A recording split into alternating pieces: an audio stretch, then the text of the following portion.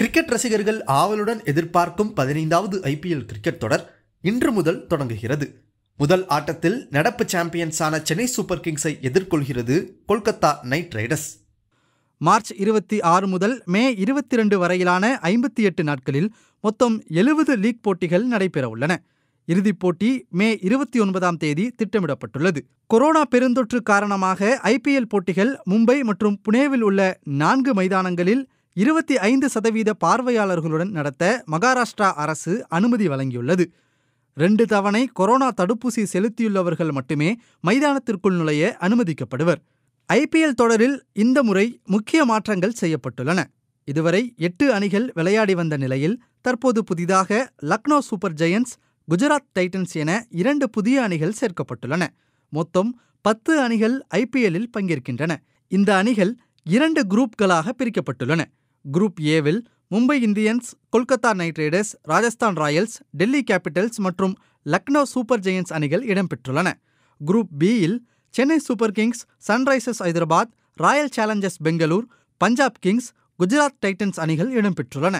பத்து அணிகள் மோதும் ஐபிஎல் போட்டிகளில் ரசிகர்கள் ஏராளமான மாற்றங்களை காண தயாராக இருக்க வேண்டும்.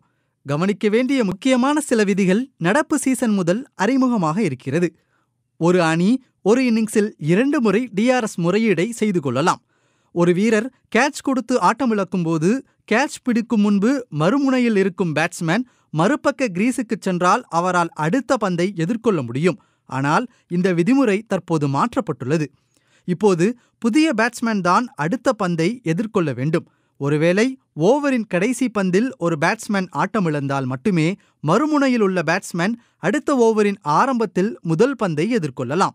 நாக் அவுட் ஆட்டங்களில் சூப்பர் ஓவரை முடிக்க முடியாமல் போனால் லீக் சுற்றில் எந்த அணி முன்னிலை பெற்றதோ அந்த அணி வெற்றியாளராக அறிவிக்கப்படும். சென்னை சூப்பர் கிங்ஸின் முகமாக திகழ்ந்த எம் எஸ் தோனி கேப்டன்சியிலிருந்து விலகியுள்ளார். அவருக்கு பதில் ஜடேஜா தலைமையில் சிஎஸ்கே களம் காண்கிறது.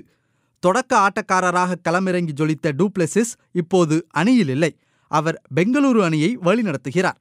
புதிய வீரர்களை கையாளுவது அணியை கட்டமைப்பது என ஜடேஜாவுக்கு அதிக வேலைகள் உள்ளன. ரோஹித் தலைமையிலான மும்பை இந்தியன்ஸ் அணியின் பெரிய பலமே அவர்கள் சொந்த மண்ணில் விளையாடுவதுதான்.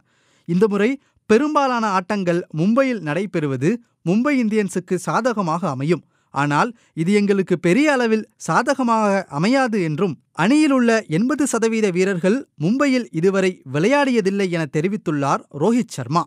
சூரியகுமார் யாதவ் பொல்லாட் இஷான் கிஷன் பும்ரா ஆகியோர் மட்டுமே மும்பையில் அதிக போட்டிகளில் விளையாடியுள்ளதாகவும் அவர் குறிப்பிட்டிருக்கிறார். பதினைந்தாவது ஐபிஎல் தொடரில் அதிக தொகைக்கு ஏலம் போன வீரர் எனும் பெருமை பெற்ற இஷான் கிஷன் பேட்டிங்கில் கூடுதல் வலு சேர்க்கக்கூடும். ராயல் சேலஞ்சர்ஸ் பெங்களூரு அணியின் கேப்டன் பதவியிலிருந்து விராட் கோலி விலகிவிட்ட நிலையில் அவருக்கு பதிலாக டூப்ளசிஸ் தலைமை தாங்குகிறார். விராட் கோலி பேட்டிங்கில் தன்னை நிரூபிக்க வேண்டிய கட்டாயத்தில் இருக்கிறார். அணிக்கு வலு சேர்க்க கொல்கத்தாவின் முன்னாள் கேப்டனும் தமிழக வீரருமான தினேஷ் கார்த்திக் உள்ளது கூடுதல் பலமாக அமையலாம். ரிஷப் பண்ட் தலைமையில் களமிறங்கும் டெல்லி கேபிட்டல்ஸ் அணியில் சன்ரைசர்ஸ் முன்னாள் கேப்டன் டேவிட் வார்னர் இணைந்துள்ளார். கொல்கத்தா நைட் ரைடர்ஸ் அணியில் Shreyas Iyer Ajinkya Rahane Aaron Finch Pat Cummins Andre Russell Tim Southee Sunil Narine என நட்சத்திர பட்டாளமே உள்ளது. கடந்த முறை இறுதிப் போட்டியில் கோப்பையை நழுவவிட்ட கொல்கத்தா இந்த முறை ஸ்ரேயாஸ் தலைமையில் எப்படி செயல்படும் என்பது உற்று நோக்கப்படும். டேவிட் வார்னர் இல்லாத வில்லியம்சன் தலைமையிலான ஐதராபாத் அணிக்கு கூடுதல் பலம் சேர்க்க வேண்டிய பொறுப்பு ஏடன் மார்க்ரம் உள்ளிட்ட இதர பேட்ஸ்மேன்கள் மீது நிரம்பியுள்ளது. பந்துவீச்சில் தமிழக வீரர்கள் நடராஜன் வாஷிங்டன் சுந்தர் ஆகியோர் மீது கவனம் படர்ந்துள்ளது.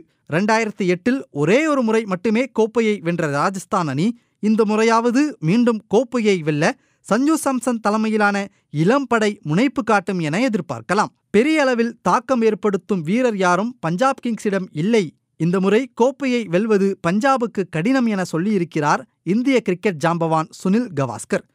இந்த கருத்தை ஆட்டத்திறன் மூலம் முறியடிக்க வேண்டிய பெரிய பொறுப்பு மயங்க் அகர்வால் தலைமையிலான பஞ்சாப் வீரர்களுக்கு உள்ளது. ஹர்திக் பாண்டியா தலைமையில் களமிறங்கும் குஜராத் டைட்டன்ஸும் கே எல் ராகுல் தலைமையில் களமிறங்கும் லக்னோ சூப்பர் ஜெயன்ஸ் அணியும் ஏலத்தில் நட்சத்திர வீரர்களை எடுத்திருந்தாலும் ஆடுகளத்தில் அவர்களின் மேஜிக் ஜொலிக்கிறதா என்பதை பொறுத்திருந்துதான் பார்க்க வேண்டும்.